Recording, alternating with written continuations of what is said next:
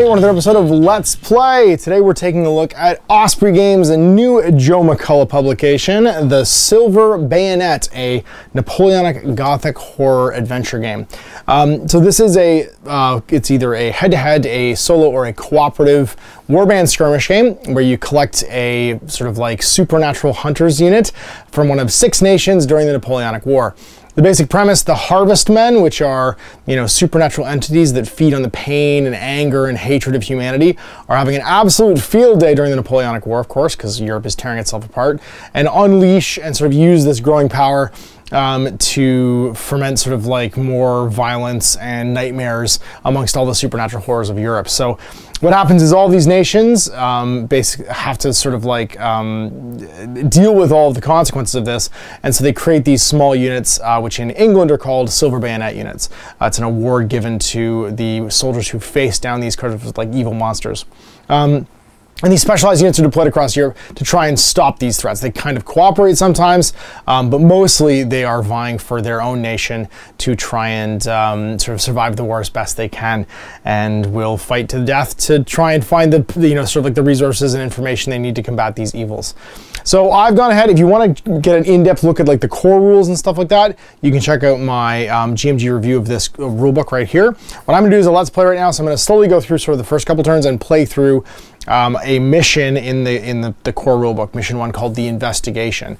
Uh, then over the next couple weeks, there is a solo campaign in here of five missions. I'm going to run my unit, my Supernatural Hunters unit uh, from Spain through those uh, missions. And then finally, uh, after I've sort of got myself comfortable with the rules, Jay and I are going to do an actual campaign running through the remaining nine core missions from the book. So I'm going to show you the table, show you the two missions I've created for the Let's Play so we can get an understanding of the rules, and we'll get this underway. So here I am set up and ready to play. I've accumulated everything I need. So I've got my core rulebook here. Um, I've got some playing cards. And I usually just need um, five, like a 10 through all the face cards. So um, 10, Jack, King, Queen, Ace. Uh, but you might need more. So I've just uh, separated those out. I got some dice. So you need some D10s in different colors. I'll be using the um, blue and red dice as power and skill. So skill and power for all my dice rolls. Uh, then you need a pool of fate dice, so same colored dice, the black, however, the monster dice, which can be used to alter sort of like in-game states. What I'm doing is I'm just using one of each and I'll turn the face to face how many of those dice I actually have. Tired and exhausted tokens, so these are um, basically for when you're in combat. The first time you fight, you become tired. The second time you fight, you become exhausted and you're at a penalty and no longer can engage people. Um, and that resets every turn. And then just some extra dice for damage for marking when people are wounded. Uh, you can always mark it pen and paper as well. And then finally some smoke clouds for who has shot and a measuring gauge in inches for when we're firing. The appropriate models. These are some scenario models I have here. Some terrains. Here we have the back sort of country of Europe during the Napoleonic War. You can see it's fall in this area an abandoned ruined farmhouse in the middle here, and some clue markers. I've got these cool little 3D printed ones I found, um, but previously I just used buttons that I drew a question mark on. Uh, and then you need some forces. So I've got two groups here I built. First is my campaign force that I built brand new just for this. This is my Spanish unit um, led by Tinte Ramirez, who is the, uh, the leader there in the middle. Uh, he is armed with a breastplate, a blunderbuss. Um, he's got a shot bag uh, with some silver shot on it. Uh, and then, um, sorry, with some salt, uh, salt, salt, shot actually in it. And then a silvered weapon, uh, which is his, uh, his hand weapon there, his sword. Then on the right, we have Inquisitor Rubio. He's a sinister minister. Champion of the Faith. Um, and then he's got some miracles he can actually cast. His are healing models with an 8 uh, increasing their courage with an 8, and blessing their weapons. Now, my skills on Ramirez here are um, actually Great Faith, which means that he uh, always counts as being blessed, so he can his weapon is always blessed no matter what. Uh, and Indefatigable, which means he never gets more than one tired token. He can never be exhausted when fighting, so he just keeps fighting no matter what. Then we have Wachtmeister Briner, my supernatural investigator. He's actually my Vatican guard there on the far right in the huge suit of armor, uh, representing his high defense. He's a supernatural veteran and monster expert, which means he actually gives me an extra monster die, and he's the bodyguard there of Inquisitor Rubio, sent by the Vatican to uh, to go hunt the bad the bad things. And then Delgado is my um, sapper in the back there. He has a combat engineer skill, a musket and cartridge box, heavy weapon, um, and silver shot for his um, musket. Then down here we've got three uh, just regular grenadiers. You can see with their heavy armor there. Uh, they got muskets, cartridge boxes, and um, oil and torches. All of them are able to light up a, a torch there for fighting monsters of course, because it's the Spanish Inquisition, we, we had to have the ability to burn things at the stake. Here, my French company here, the French, uh, I guess, Foreign Supernatural Hunting Legion.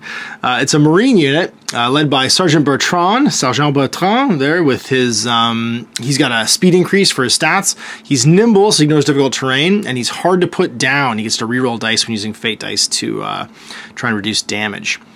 Then he's armed with a hand weapon, a musket with shot box, cold iron weapon, um, and his extra stuff, he's got oil and torches, and he's also got the um, holy icon. Then we have Philippe Noir, my, my occultist, with his spells. Uh, he can curse people, he can manipulate the dice in the dice pool, uh, and he also can enchant a weapon.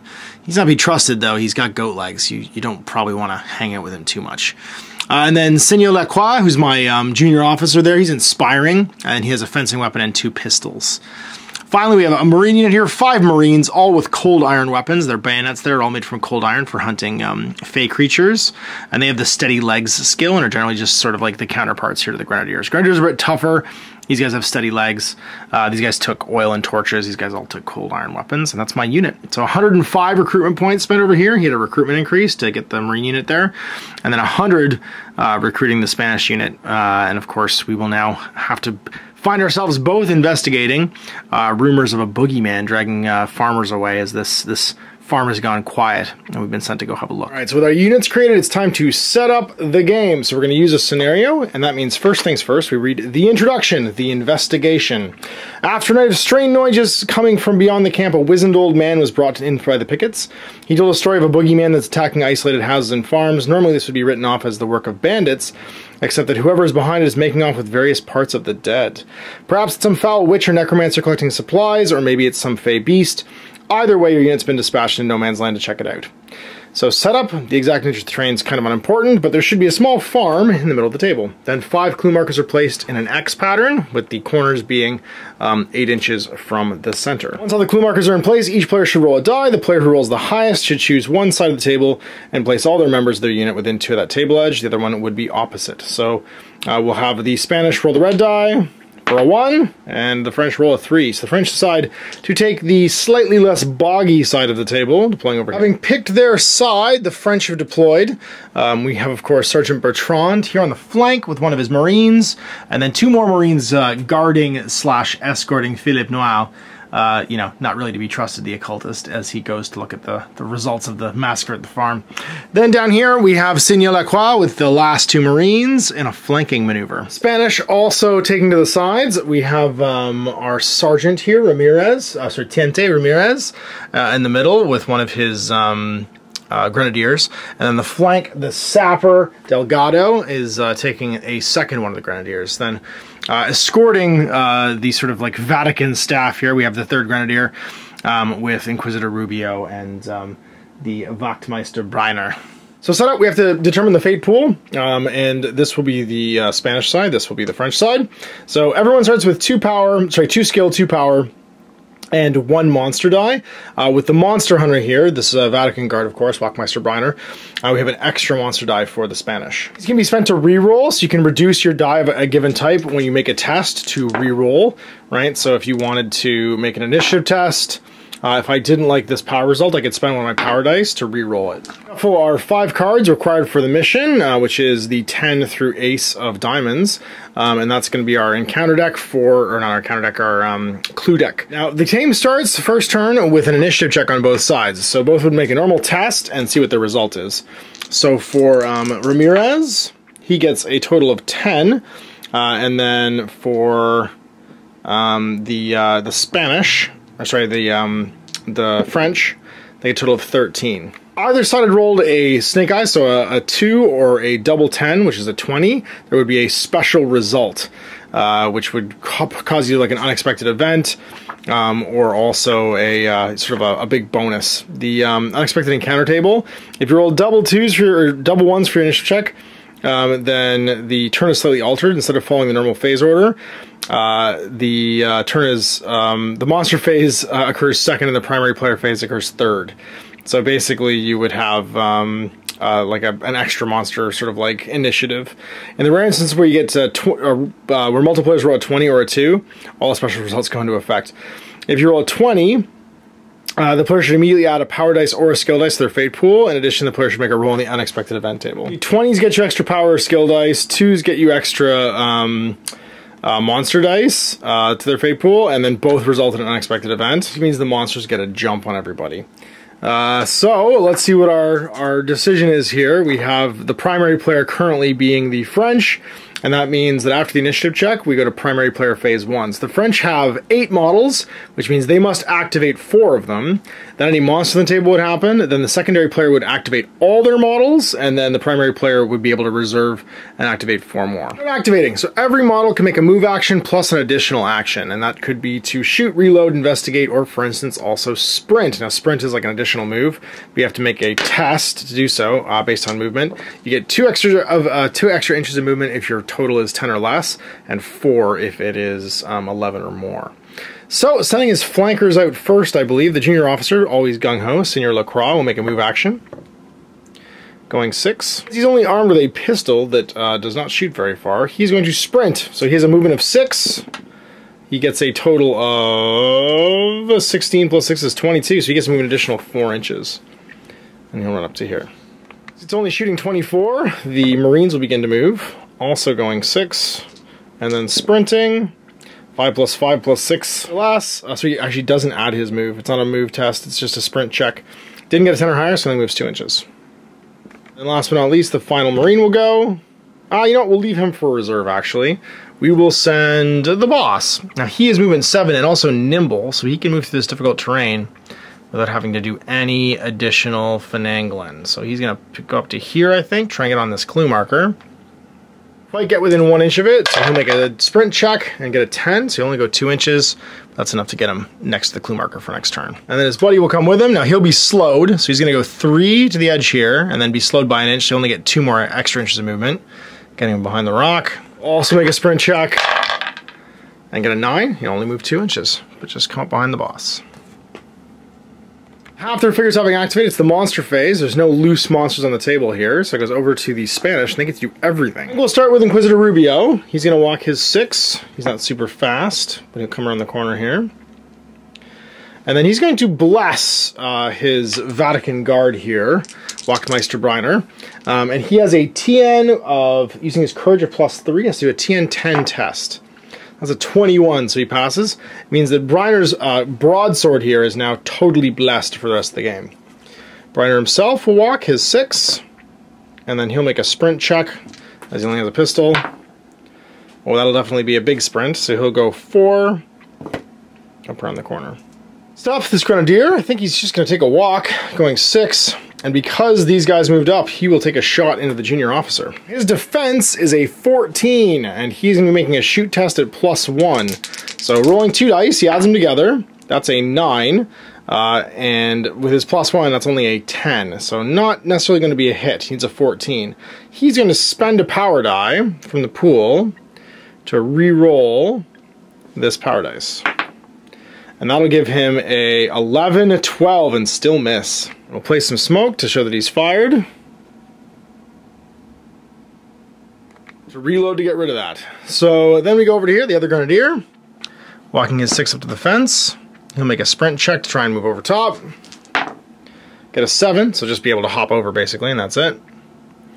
And the boss, also going his six, will take a jump and go with an 11, so he gets to go four inches, so two to get him across. And then he can still move two more. He'll just go stand next to the bushes. Well, the sapper's gonna go. Now, unfortunately, he will be quite slowed. only going three through this muck here. And making a sprint check with a 14, he gets to move two more because his uh, total move before gets halved yet again for going through difficult terrain. His compatriot also moving three through difficult ground, and then a sprint check as well. With a seven, he only moves one more inch. Now the primary player gets their second phase, and that means we can start moving up again. So moving three with the Marine, you'll basically require two more to cross, and then have one more extra inch of movement. And then check for sprinting. That's only two more inches. So I'll just go over here and start moving into the building. Philippe Noir is gonna walk his three and then hop over for two and then move one more. And then maybe he can sprint over to this clue. That's only a seven, so he's only gonna go two more inches and not quite get there. The last Marine moves two to the edge. It's gonna cost him four to get to the top of this because of difficult ground. And then he can try and sprint to take the high ground. That's an 11, so he can move two inches through the woods, even though it's difficult. And this last Marine moving up six, he will take a pot shot at the Grenadier that just shot at them. So he's going to be on a TN of 14 over here, um, and he'll be minus one to his roll for having already moved, and then plus one for his shoot value. That is a 16. Oh, geez. Okay, so 16 uh, minus one is a 15. Um, plus one for his uh, shoot stat is again a 16. That's going to hit. Now the power dice is what does damage with the musket. Oh, so actually, I think the skill dice. Uh, bam, that's a skill die of 9, which means it does 9 damage. So he has 2 remaining. That's what happens when you lie in wait. So now his options are to return fire, do nothing, or dive for cover. His musket's unloaded, so he's going to dive for cover 2 inches over this way. Totally forgot he could do. He couldn't fire back because his pistol's out of range, but he could also dive for cover when he got shot up by the grenadier. Critical hit rule here, where you roll um, two tens on your skill check for a shooting attack or a melee attack, you get plus two damage, and they can't uh, shoot back, dive for cover, or strike back or fall back in melee. That wraps up the turn, so we're in a turn two, and that means a new initiative check. For the Spanish, a 15. For the French, a 9. Roll a 10 to, to re-roll there, so the French just deciding discretion's a better part of valor and letting the Spanish have it. Well, it's looking like it's time to start investigating, so I think we're going to go with the boss, as he only has a blunderbuss. He's going to make a move action over to here, and then he's going to investigate that investigation token and get the Jack of Diamonds. A mutilated corpse. The figure that investigated the clue must make a courage check at TN10 or suffer minus one melee and minus one shoot for the scenario. So we find one of the, the locals who is, uh, I guess, stuffed in one of those barrels. Luckily, he is indefatigable and has great faith, so courage 3. That's a 13, he's fine. Also seen more terrible things than this. Uh, so he can do, it's rounding down, I believe he has to activate. A few more models can activate. I think you just need to reload, sacrificing your movement, and then take a shot at this guy while he's reloaded or unloaded. Firing his musket into the unloaded Marine. Uh, he has not made a move. There is no wounded penalties in this game. Uh, so he is plus one shoot value, looking for, I believe, a 13 for the Marines. That's a 14, that'll do it, and it's a skill dice damage, so 7 points of damage. He has 10, so that leaves him with 3. Now he will dive for cover behind his friend, going 2 inches. And these guys get one more activation. I think we're to go with the Inquisitor, as you fired again, so you get a smoke. Uh, he is going to walk his 6, trying to get behind these trees. Getting in some cover, and he's going to heal this poor fool. TN10, he's got plus 3. He does it, so he heals him 3 points, and brings him back up to 5 health. Inquisitor, uh, but that means all the French get to go now. Start with some investigation, because it might go poorly otherwise. I think this Grenadier, or this Marine, is just going to walk over to this token, and see what's up. What did we find here, Marine? Tactical, the 10. Uh, the Ten of Diamonds is Severed Partially Gnawed Limbs. The figure that investigates this clue must make a courage check at minus 10. Uh, or TN10 or suffer minus 1 melee and shoot for the rest of the scenario. So he's courage plus 1. So let's see what he gets. A 9. Oh no. So he's minus 1 to all his stats rest of the scenario. We're to place a little red token on him to show that he is scared. The junior officer's to go. He's to run his 6 up to here. Charge Light Brigade, try to finish off this Grenadier. Firing his pistol, he is shoot plus one, defense 14 on the Grenadier. He moved though, so effectively defense 15. That's a six. He will spend, oh, I'd have to roll a 10 to do it. He's plus one shoot, but it would basically need to be a nine or a 10 on the reroll, so he's just gonna let it be.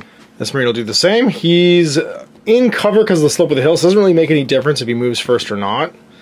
So he'll move first, get him out of cover. And then defense 14 again, 15 effectively because of the move. That's an 11. He's going to spend that reroll. Spend a fate die, down to one power die, and reroll the power here. That's a nice high skill hit. Of, it'll kill him if it hits. That's a 12 though. 13 for his shoot, back down to 12, doesn't hit. He's now also fired his musket. Well, I think it's just this last poor Marine. He's gonna walk up six to the corner and reload his musket. Well, this Marine is gonna come through the woods a bit more, going three to here, and then take a shot at the boss. Plus one with his musket, it is minus one for cover, and then minus one for him having moved, so minus two, plus one for his shoot value. So it effectively makes him defense 15. Ooh, that's a 14. 13 though, not gonna bother with the reroll. Let's build duck for cover though, and go two inches over to here. Oh, as will he actually, because he got shot at. I forgot about that. I'll duck for cover up this way. We're gonna let the boss actually do some work and we'll walk over with this Marine, investigate the token, and what do we find? It's the Queen of Diamonds, which is Strange Claw Marks. The player that uncovered this clue shot a monster die to the Fate Pool. So the French get an additional monster die. Well, and then it's uh, Sergeant Bertrand. He's nimble, so you can ignore the difficult movement penalties here. He's going to go 3, 6. Almost be in the center here. But he's going to fire his musket into Ramirez. Plus 2, uh, minus 1 for cover, minus 1 for the move. So just effectively rolling a straight die roll here.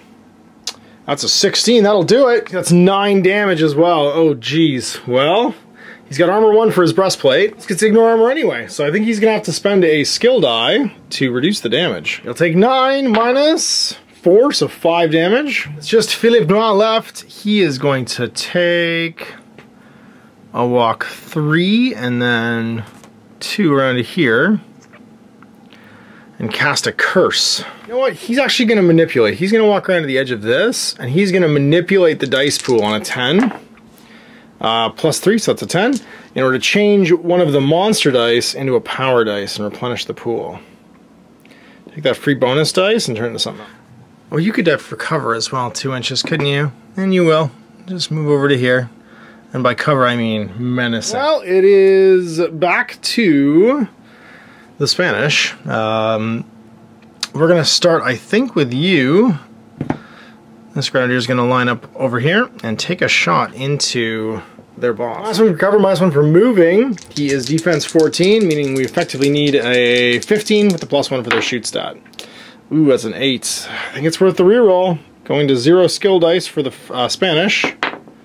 And getting a 10, oh geez, and it's a skill shot, 10 points of damage. Dropping a power die that was conveniently changed over by Philippe Noir to roll two dice, pick the highest for damage reduction because he is hard to put down. Uh, 10 damage goes down to 3. 9 health left. Lost the Grenadiers. Uh, it's going to be 5 inches because he's got to just clear that woods, but it will bring him in contact with the marker. And then he'll investigate it. What do we find? The Ace of Diamonds. It's... A hobgoblin. The players have uncovered this clue should place a hobgoblin anywhere on the table within six of the center point. Well, guess what was in the well? French team. A twisted man, twisted by magic into uh, something terrible. Deal with that.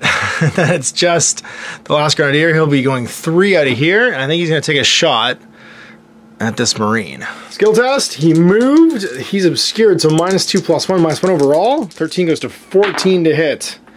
That'll do it. 15, only 5 points of damage though. Take him down to 5, and now he can fire back, which he will do. Didn't move, uh, not obscured, so just hitting on 14.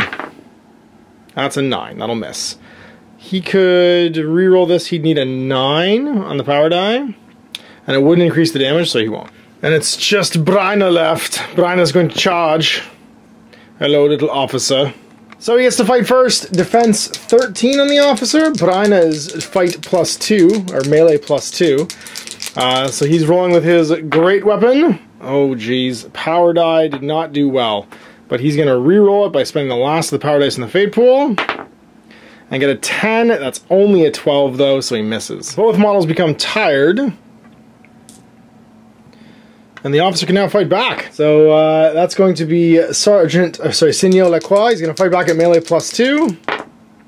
And get a holy moly with his fencing weapon, a 16, 17, 18, which definitely hits. Now, it is a skill-based weapon.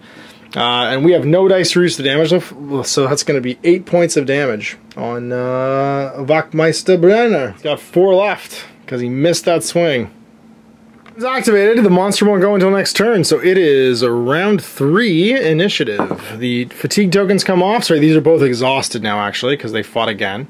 They actually have different colored tokens. It's initiative checks for the Spanish, a 5, for the French, a 4. Worth the reroll, I think. Rerolling the power die.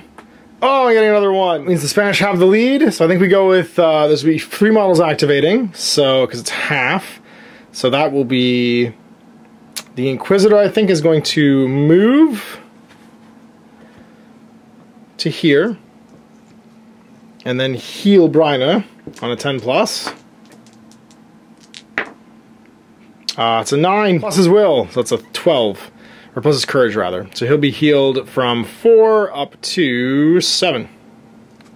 Then we're gonna go over here, we're gonna reload this musket and then take a shot over here. You can reload to shoot back. So plus one, minus one for being obscured but didn't move. So just a straight dice roll trying to get a 13.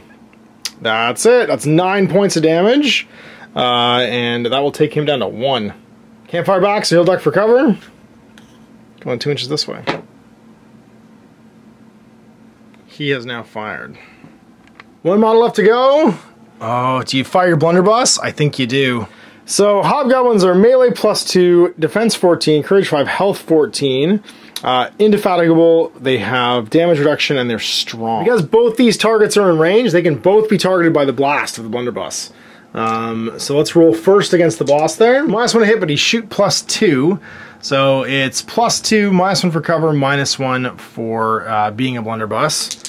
And that's a 11. Doesn't hit. Against the Hobgoblin, that'll do it. 16. Power dice plus one, so 11 points of damage. Back down to 10 though, um, because he uh, has damage reduction. It's the monster phase, and following the script, of course, this monster is going to go towards the nearest thing it can see, which is going to be poor, poor, poor um, Sergeant Beltran. he's gonna get attacked. Plus two against his def of 14. Let's see if it whacks him with that great weapon. Oh, it sure does.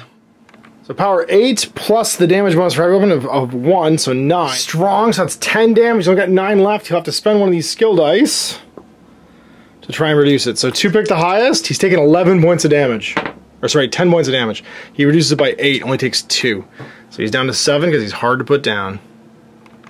So he can fight back if he wants. They're both going to be tired. But the uh, Hobgoblin never becomes exhausted. So fighting back, he is fight plus two.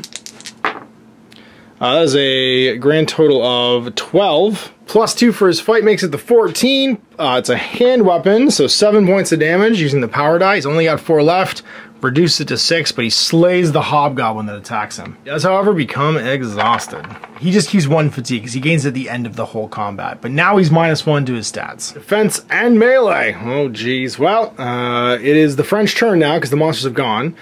So I think we're gonna see some combat happen over here. Junior officer's gonna activate. He's gonna take a stab against the def of 14 on uh, Bryna there.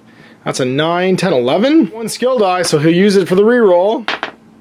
And that's a 13, 14, 15 will do. Fencing weapons of 7 points of damage is going to take Bryna out. In his second action, he will reload. And spend your move action to do that. So, now over here we've reloaded. And over here we haven't, but we can't see anybody. So I think with only one hit point left, he's going to reload. And then move his 6 around the tree here, threatening the Inquisitor. And then our last Marine, although injured, is going to come out and take a shot. Shooting this Grenadier. Uh, he is minus one for moving, minus one for the obstruction. So, and then plus one. So minus one overall. Looking for a 14. That won't do it. Scaredy Cat Marine's gonna come out to here. Try and save the boss. But he'll shoot the Inquisitor in the back with his musket. Uh, not obscured, because he's on the other side of the woods here, uh, but he is minus one for having moved. So just a straight dice roll, looking for a 13. 14 will do it, uh, and that's 7 points of damage on the Inquisitor. He's only got 10, 12 health?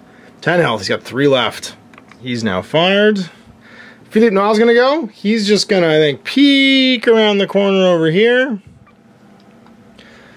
and then try and manipulate the dice pool again. He needs a 7 to do it with his plus 3, gets it, so he's going to turn this last monster die back into a skill die. The boss is going to go. Uh, he's going to take a shot, I think, into Ramirez. Loading his musket, he'll just fire away. Only last minus 1 to defense and um, to uh, his melee stat, not minus 1 to shoot. So he's plus 2, minus 1 overall for cover, and that makes him looking for a 14. Ooh, that's not great. Can't reroll the power die because he only has skill dice rerolls. We'll have him having fired again. Reloading over here, this Grenadier is going to take a shot into, or say the Marine's going to take a shot into the Grenadier. Uh, plus one for having uh, shoot of one. That's a 10. He can reroll the skill die. Uh, that's a uh, 12 goes to 13, so he just misses. Can't shoot back, but he could dive for cover too. And he will. It's just this fellow up here left. He's going to reload, just move three inches across that difficult terrain, having his movement. So with Briner down, it's back over to the Spanish. They only have a couple of models left to activate, but I think we're going to start over here. This Grenadier is going to reload uh, and then take a shot into, uh, I think, Sergeant Bertrand. Uh, or you could shoot this guy in the open which is probably even a better idea. ah, or the guy who's like super injured. Because mm, just one point will kill him. Yeah, I will shoot the super injured guy. So cover, plus one, minus one, just looking for a 13. Uh, that's only a four, it'll miss. The Sapper's gonna go, he's gonna climb up, climb, scaling the wall for all of his movement, and he's gonna take a shot, I think, over here. Cover plus move, so minus two, plus one for his shoot value. Looking for a Seth, uh, big old 14, not misses. That's going to be a minus one overall, so 12 goes to 11. And last but not least, this Grenadier is going to reload, try and finish him off. He should have smoke actually because he did fire this activation. Uh, and that's an 11 goes to 12, just misses. And I think that's round. Turn four, initiative check for the Spanish. That's going to be a five, and for the French, it's going to be a 12. So the French going first. This fellow I think is going to just jump in and fight Ramirez with his bayonet. Uh, he is melee plus one with his hand weapon, looking for a 13. That's an 11, 12. A miss. Now, the Inquisitor could fight back with his staff, and he will. Plus zero needs a 13 to hit that guy. Uh, misses. Become tired. Three more models remain to move. Moving on up. This guy's unloaded, so getting him in the open. He will fire his pistol. Uh, that is a 11, goes to 12, goes back down to 11, and misses. Two models remaining to move. Need to finish some stuff off. This fellow's gonna just charge in, I think. And go fight this Grenadier. He's minus one to his stats, but he might as well try. Needs a 14, misses. He can fight back, though, at plus one. Needing a 13, he might as well try. I get a 12, goes to 13. That's going to be six points of damage. I'm reading on four, and they both become tired. One model left to go. It's going to be the boss here. He's no longer tired. I think he's just going to reload and then take a shot into Ramirez. He is shoot plus two, minus one for the cover, so plus one, looking for a 14. Totally misses. Does no, no ability to reroll. And that's the first half of the French activation done. So it's just this model, this model, this model, and this model left. So on the board, so the Spanish get to go. Reloading up here. My sapper, uh, his name is Delgado, is going to shoot at uh, Ramirez who is bold enough to fire at plus one, minus one. Oh, just a 10, doesn't quite hit. The second Grenadier on the flank here is gonna reload and take a shot into the unloaded Marine. So minus one for cover, plus one for his shoot. He needs a 13. Six and six plus one, uh, plus nothing actually, means it's just a 12. Dive for cover, heading backwards, just behind here. Also dive for cover, getting in line of sight. And he got shot. The Inquisitor's gonna activate. He's gonna take a stab into that remaining Marine. That's a 15. That'll definitely do it. Bops him on the head and takes him out of action with his hand weapon. Second action, I think it's time to go, folks. We've killed the Hobgoblin. And you know what, we'll go around this way. Time to head back towards our table edge. This Grenadier's gonna reload. He's gonna actually shoot the Marine. Minus one for the cover in the intervening terrain, but plus one for his shoot, so just looking for a 13. That'll do it. That's four points of damage, enough to take him out. And then this Grenadier's gonna activate, and I think just bayonet this guy. Says I'm tired, so on zeros, he needs a 13 to hit him. Well, that's a 16. 8 points of damage. just crushes him. And then his second skill, he's just gonna start falling back, going six. But he is exhausted. And it's just the boss. He has decided discretion's a better part of valor. He's gonna move back his six, going to here, and then make a sprint move, uh, looking for a 10 or 11. That's a nine, so he's only going two inches, so he just tucks in over here behind the woods. And the remaining French get to go, also deciding discretion being a better part of valor. They will... Ah, you know what? The boss is going to move, and he's going to investigate. Everyone's falling back, so let's see what the final card was. King of Diamonds. Strange Footprints. Add a monster dice to the Fate Pool. Sweet. Well, that means that Philip Noir can go. He can walk six back towards the table edge. And then manipulate on a seven. Gets it, so that turns into a skill die. And that should give us the advantage. So we can walk up here with this Marine, and he'll take a shot into Ramirez. No cover, but he moved. Needs a 14, plus one, minus one, so just has to hard roll it. Oh, oh, that'll do. How about 10 damage? Ramirez is down. No dice for damage reduction, because it has to be a skill die or a power die, and there's none left. Marine's now fired. Just a reload over here, but he'll immediately fire again. Try and drop that Grenadier. Uh, obstructions not in the way this time, so just plus one. Needs a 14. That's a 15. Uh, so that'll do it, and four points of damage. He can't fire back, but he could duck for cover, which he'll do, just going sideways and back. He's got six left. Round five, things are getting sporty. Initiative roll. Over here, it's going to be a fifth, 13. And then for the French, that's a nine. Time to go. No one wants to die. Gonna go six with this Grenadier. And then he's going to sprint and get off the table. The Inquisitor's going to do much the same thing. Moving six to here. And then he's also going to try and sprint. Be like, deuces. Nope, only goes two. He might still die. Grenadier, two plus, so he gets the other side, then three more, four more. We'll put him here. Falling back. Goes for the sprint and gets it. He gets to leave. And that was three models. He can go. Not in range to pistol. He'll reload. And as the... There's no sense running now, because we're just trying to catch these guys before they go. My sapper... Uh, sorry, no, he's not done. It's the boss over here. He'll reload. And then take a shot, I guess, with his rifle or his musket up into the... Two. One for obscured. No hit. Uh, over here, reloads and fires again into the sapper.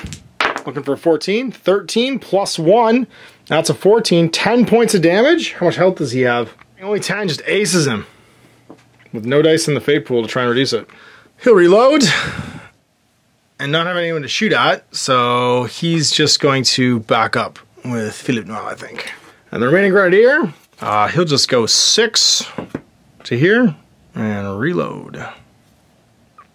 Turn five initiative. Uh, for the uh, Spanish, it's five. Oh, the French are going first, which means half the models. There's one, two, three, four remaining. You'll jump on here. Stab the Inquisitor death, plus two. Oh man, that's uh, fencing weapons. That's gonna be seven points of damage. Takes him down. One more model can go, so you can just reload and take a shot into this uh, Grenadier, who's also reloaded, however, so you can fire back. You get a 14 uh, even with the obstruction, minus one, it's still a hit. And that's going to be seven points of damage, takes him down. Spanish, driven from the field, the French are victorious and hold it at the end.